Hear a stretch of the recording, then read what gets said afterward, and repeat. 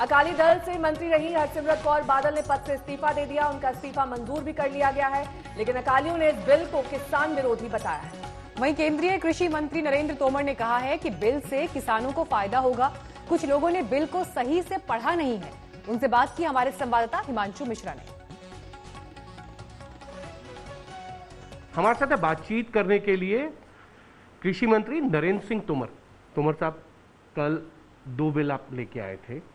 एक farmer produce trader commerce के लिए और एक उनकी जो है इनकम को एश्योर करने के लिए। दोनों बिल, आप कह रहे हैं कि किसानों के हित में है, लेकिन आप ही की एक सहयोगी मंत्री थी, हरसिमरत कौर बादल। वो कह रही हैं, ये नहीं है। उन्होंने इस्तीफा दे दिया कैबिनेट से, इन दोनों बिलों के खिलाफ। कल लोकसभा में कृषि सुधार से संबंधित दो बिल चर्चा में थे। मुझे प्रसन्नता है कि लोकसभा ने दोनों बिलों को पारित किया। इसके लिए मैं सभी सदस्यों को हृदय से बहुत धन्यवाद देना चाहता हूँ।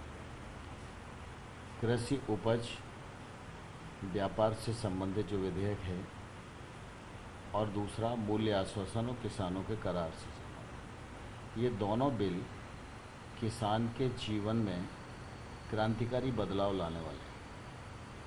ये दोनों बिल कृषि को समृद्ध करने वाले हैं। ये दोनों बिल किसान का संरक्षण करने वाले हैं। ये दोनों बिल किसान की आमदनी बढ़ाने वाले हैं। ये दोनों बिल किसान को मिनिमम मूल्य की गारंटी देते हैं और वाणिज्य वाला जो बिल है, वो तीन दिन में किसान को उसके उत्पादन को बेचने के बाद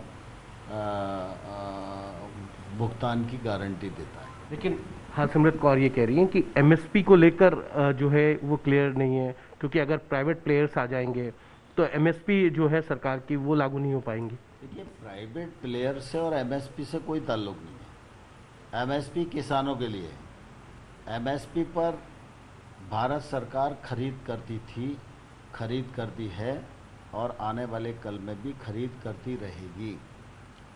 एमएसपी के अतिरिक्त जो ट्रेड है वो ट्रेड में किसान अपनी फ़सल किसी को भी बेच सकता है, इसमें किसी को क्या आपत्ति होनी चाहिए? और किसान जो ट्रेड मंडी परिधि के बाहर करेगा, उस पर न तो राज्य सरकार का कोई टैक्स होगा, न केंद्र सरकार का कोई टैक्स होगा। तो इसमें किसी को दिक्कत क्या होनी चाहिए? लेकिन वो ये कह रहे हैं कि ये किसान विरोधी है, इसीलिए उन्होंने इस्तीफा दे दिया। उन्होंने कहा, हरसिमरत कौर बादल ने कि उन्होंने कई बार आपसे मुलाकात की, उन्होंने कहा कि इसका समाधान होना चाहिए, लेकिन सरकार समाधान नहीं दे पाई, इसीलिए उनको कैबिनेट से इस्तीफा देना पड़ रहा है। वो किसान की बेटी हैं, इसलिए किसानों के हित की लड़ाई लड़ रही हैं। मैं आपके माध्यम से देश भर के किसानों को कहना चाहता हूँ, ये बिल किसान के हित में है, किसान को समृद्ध बनाने वाला बिल है, और इस बिल का जो लोग विरोध कर रहे हैं, उनको बिल पढ़ना चाहिए, और अगर वो किसान के पक्षों को देखकर बिल को देखेंगे तो किसान का हित उनको दिखाई देगा। और अगर राजनीतिक दृष्टि से देखेंगे तो राजनीति दिखाई देगी। कहीं वोटों की राजनीति तो नहीं है इस्तीफे के पीछे उनके? नहीं मुझे नहीं मालूम क्या है। मैं तो कुल मिला के जिन सदस्यों ने अपना समर्थन दिया उनको धन्यवाद देता हूँ। जिन्होंने नहीं दिया उनको भी धन्यवाद।